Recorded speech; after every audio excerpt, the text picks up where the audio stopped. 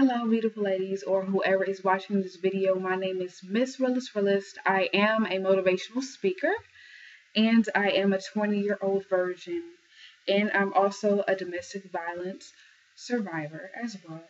And I speak both about abuse and idolatry, how those two coincide, and I also speak about virginity's value now, today I'm just going to give you a sneak peek into one of the segments from Virginity's Value, and that is pornography and virginity. It's actually telling my story of how I got addicted to pornography while I was a virgin. Now, I know you never heard that before, but I just want to be really real and allow you ladies to recognize what is important.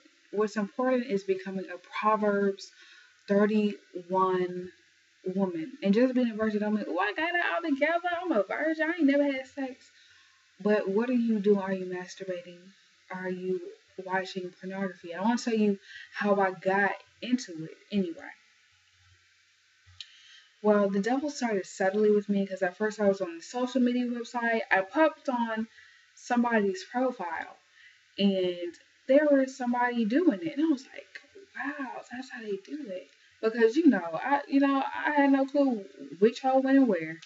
And um, I'm sitting for the first time, I'm like, oh, that's very interesting. I never, yeah, I don't even know,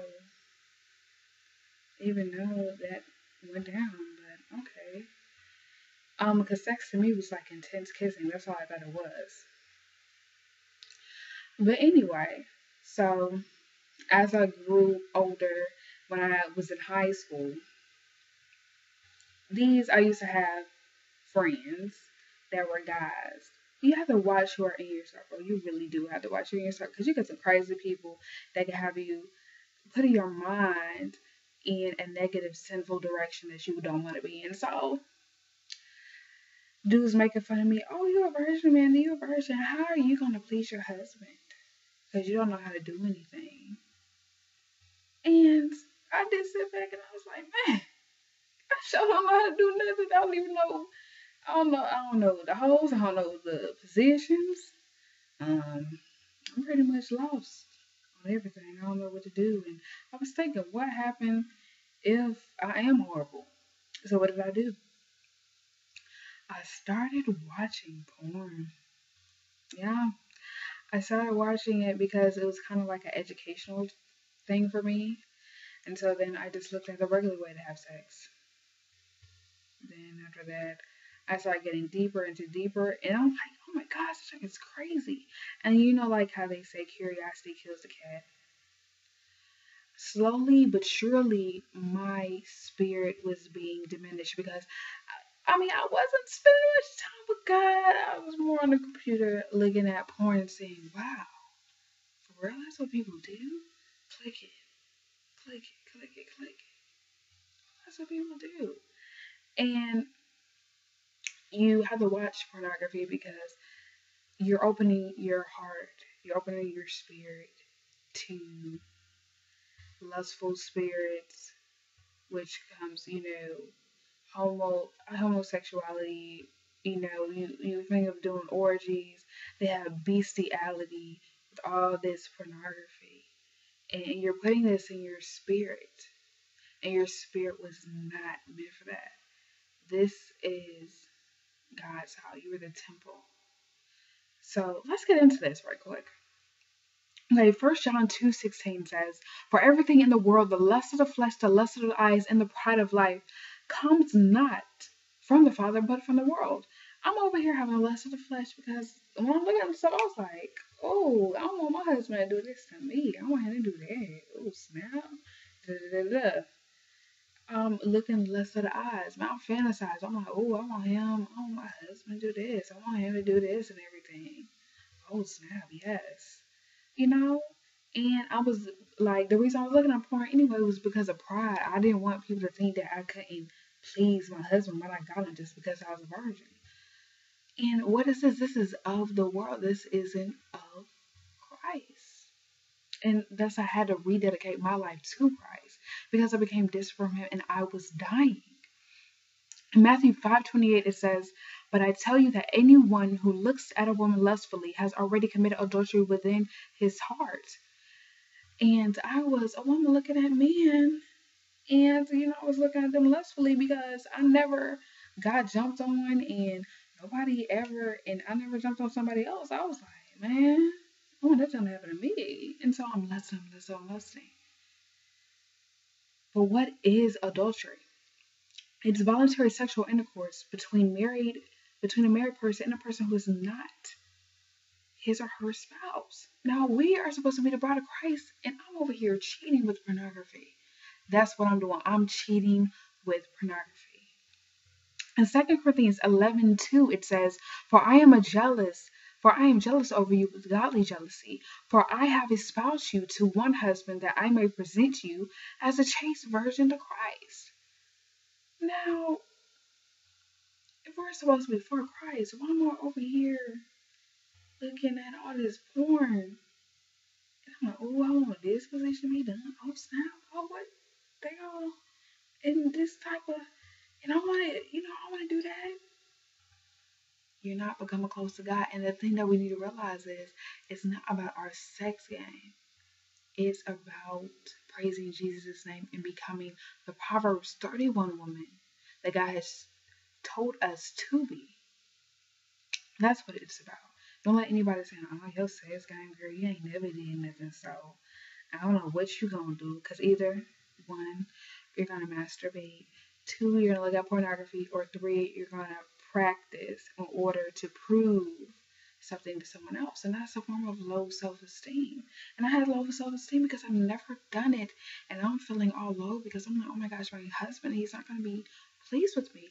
But the question is, what happens if somebody is ill and you can no longer have sex? What type of wife will you be then? Because if the only thing you were good at was your sex game and he can have somebody that's faithful to him, he can some have someone that encourages him and support him and loves him through Christ and prays for him, what type of wife are you? What is he left with?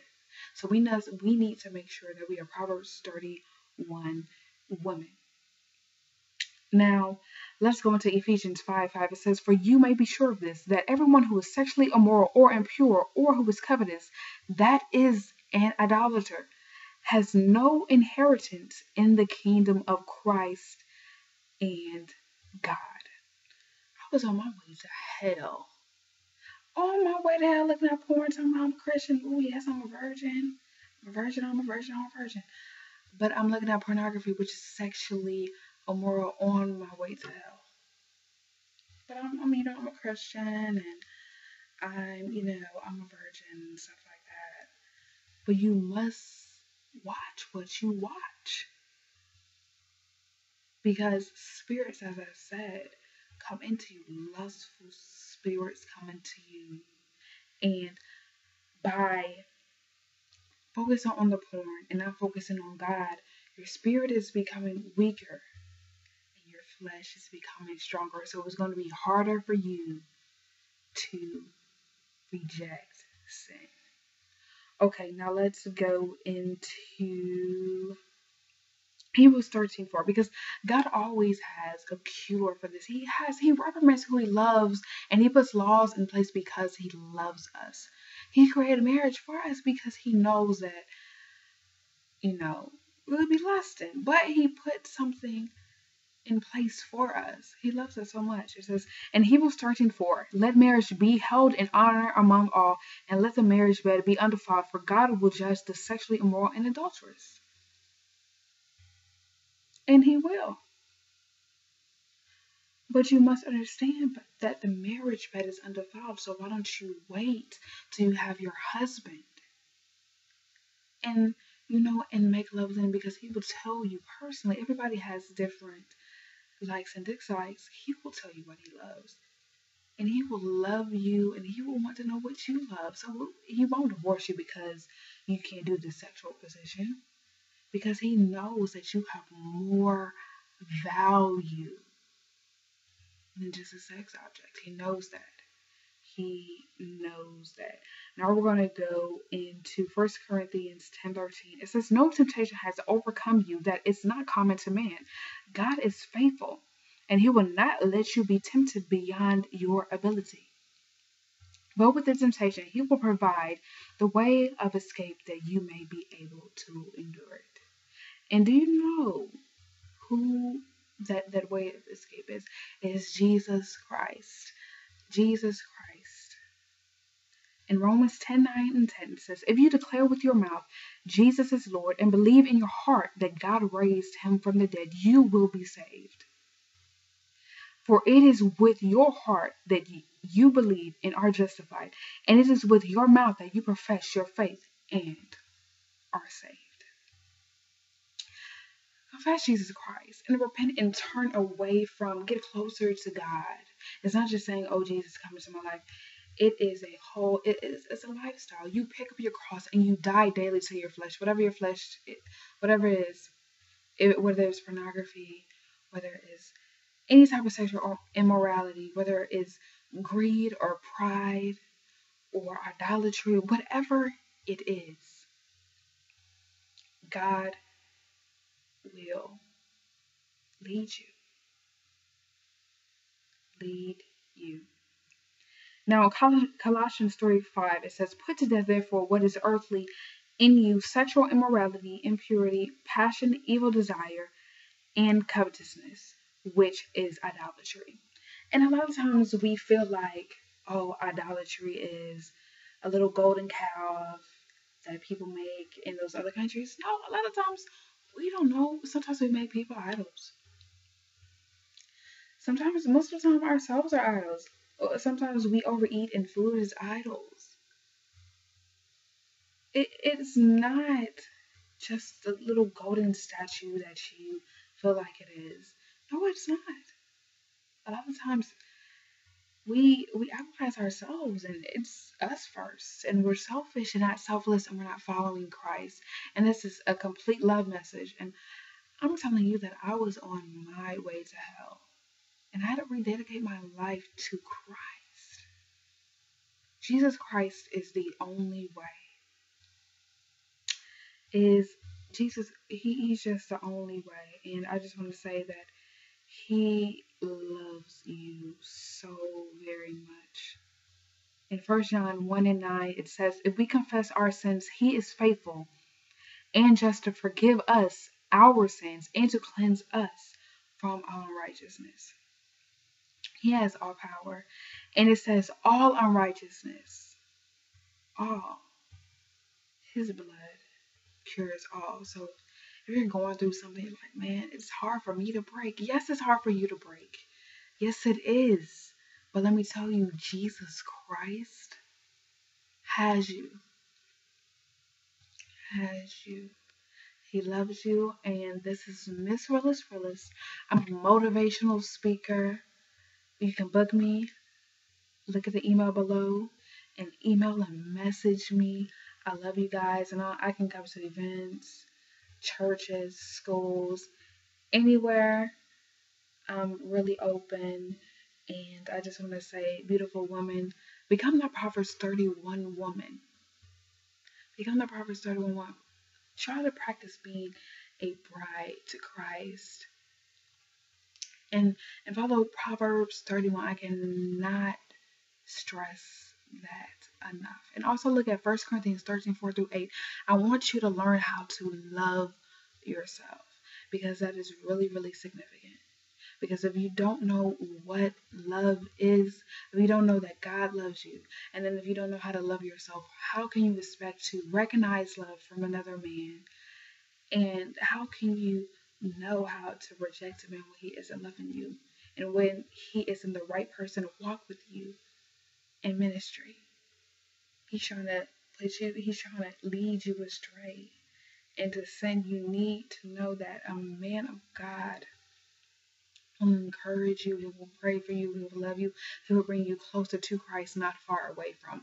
Well, this is Miss Realest Realist. I'm a motivational speaker. Again, this is on virginity's value. And just book me. I'm going to be going on tour summer 2013. I'm really excited about it and I love you all so very much. So, message, and I just want to say I love you and Jesus loves you. And please share this video. I love you all so much. Have a great